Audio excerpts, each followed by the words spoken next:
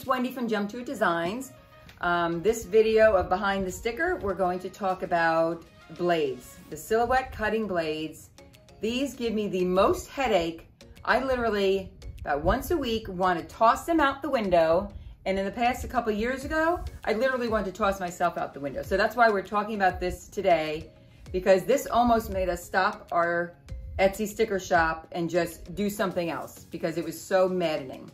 When we first started, we didn't have that many cutters. Maybe we started with three or four, five. well, now we have more than that. But say we had four. But we tried to, um, you know, follow the silhouettes guides and the online label guides for the cutting, cut setting.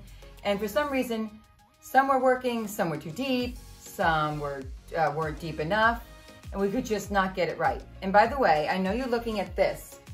This is Amy, obviously you know Amy who works here. She's always saying, I'm sorry, about 10, 20, 30 times a day. So that's there for Amy. So back to the cutters. Um, so it would go on for years. We just could not get it right. And finally, I realized I'm gonna treat each cutter as an individual cutter and not follow the silhouette settings and just do whatever setting that they're comfortable on. So when I started to think of them as more individual rather than as one, because Silhouette recommends, they call it thickness and they say like, which more of a sense of like pressure, how much the blade is pushing down through the paper. So they recommend on these models, these are the older ones, uh, a thickness of four. So we tried that, it didn't work whatsoever. I contacted Silhouette through a chat, which is the only way you can contact them, and they were not helpful at all. So I knew I was on my own. So I made up these sheets. So what I do, and I have scraps of cutting uh, cutting mats that I use. This will be another video that we do. We don't use Silhouette cutting mats. Again, they're too expensive. So we buy generic they're made by 12 by 12 for, you know, the bigger machines, the cutting machines, but I cut them down and I then have these scraps. So I use these little ones.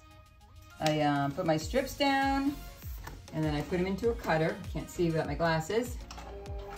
And then I have my um, program I have right here already has it set up. Like this first square is at three, four, five, and on. And the same thing here. So then I literally click it and let it run. There it goes. So now they'll go through and I have it cutting circles and squares. And circles mainly because you do so many circles. All right, so when it's done, obviously take it out, pull it off, pull down the glasses, necessary if I don't get anything done.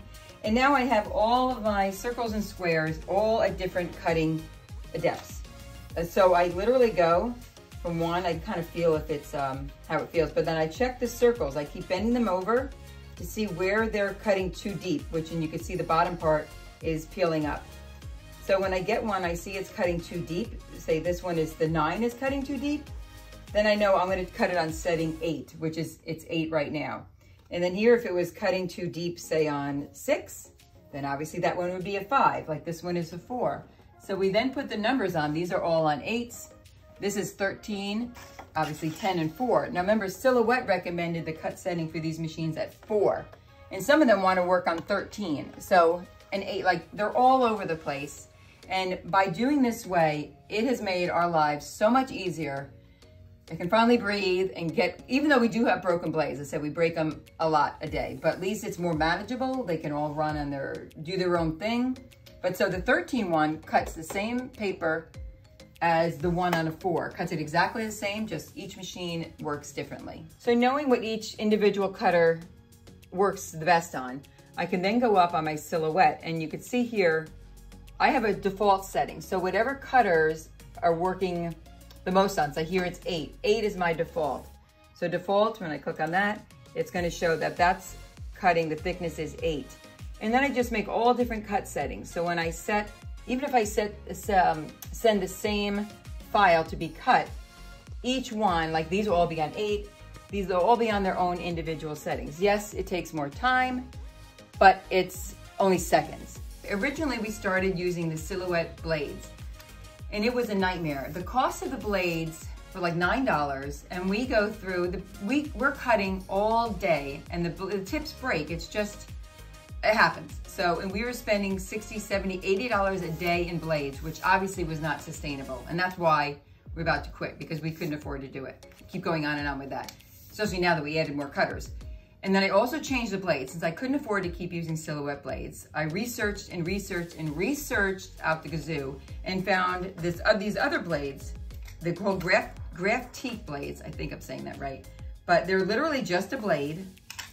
And then you have the housing, the holder.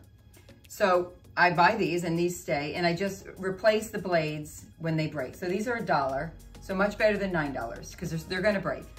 So we could go through sometimes three blades a day, blades a day, or maybe 10, 12. So at least I'm only losing say 12 at the most rather than 100 or eight, it doesn't matter, like 60, 70, 80, 100. So this is much more economical. You wanna use 45 degree uh, blades. They have 30 and they have 60, and I think the 45 ones work the best. And you can see here, these are all our old blades because you don't want to throw them in the garbage. That's not right. So all my old blades go in here and you can see how many we have. It's crazy. This is an old uh, salt grinder. You know, works perfect. I drilled a hole in the top, stick it in and it, they won't come out. All right, now to check the depth of the blade, it's so tiny that I can't, I can't see it with my naked eyes, even with my reading glasses. So what I do is I take, I have this 10, I think this is 60 times magnifying glass. So I literally just look through it, to see if the tip is broken. If something say it's not working properly, so I know if the tip is broken, or it's just, we've used it maybe for a week and it's just worn out. So they're not gonna last forever. Paper actually does wear down a blade, hard to believe. So then I know it's, um, you know, time to get a new blade. And the other way, when I'm loading new blades and I'm checking the depth, because it only has to be half the thickness of a credit card above the housing, the nose. So what I do for that, it's a very funny looking thing, but I take my glasses off, I put on this thing, put it on, strap it on. Now I look like this. Take my credit card and my blade, because I, I need to have two hands. So I literally hold it up, and if it's too low or too high, I just uh, rotate this to the right depth to have it at half or just slightly below. And then when they're all done, I put them in my, these are all good blades in here. And then where blades go bad, they all go in uh, this one. And then this is time to these, all these to have new blades in it. And then I load them up maybe once a week. When we first were having all the problems with the cutters, um, we actually named them characters from shows that we, the characters that we hate. Like we have Dennis, Kate, Debbie, Joffrey. Dennis was from Always Sunny in Philly. Joffrey from Game of Thrones. we just could not stand these cutters. They were driving us bananas. So it was kind of made humor before we actually went crazy. And the other thing is that every time I finish cutting something or right before I'm starting something new, I always, every single time, I have to take out each blade every time. And because the online labels, the weatherproof matte paper is a get generates a lot of dust, the blades are almost always clogged with dust because they have to first cut the inside sticker and then they cut the outside all the way through. And the all the way through is what makes a lot of dust. So it gets very clogged. And if I didn't use my compressor to blow them out, like that, then the next time they wouldn't work properly. And then sometimes also a little residue, sticker residue will be on the top of the nose. So if that happens, I take my little Q-tip, ah, and I got a little prescription container with a hole in it, and I have some like uh, window cleaner. I stick that in. It's a little wet, and I literally go and clean that off. But every single time I have to blow out the blades. It's maddening, but if I don't do it, then it will get clogged up and it won't work. So it's a, you know, nature of the beast. I hope you enjoyed our video featuring the blades. Any question, feel free to reach out to us and I hope I can answer your question.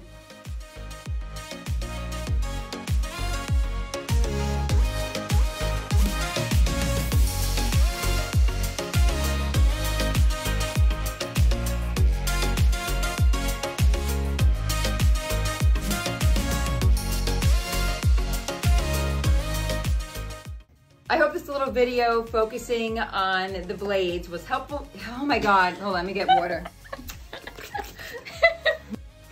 okay. I hope this little,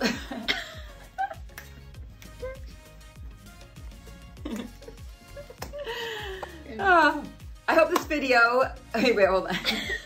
Okay, now I'm like, I'm not gonna come back and be like, like too much like I know, it's like, what happened in between? Is helpful to you. If there's any questions whatsoever, please don't hesitate to call me. I'm call me. call me. Are you ready? Yep. Oh, I hope you. Okay. Okay. I hope you enjoyed our video featuring the blaze. Um, if you have any, Sorry. what? I was like, that, it's like, well, that's good.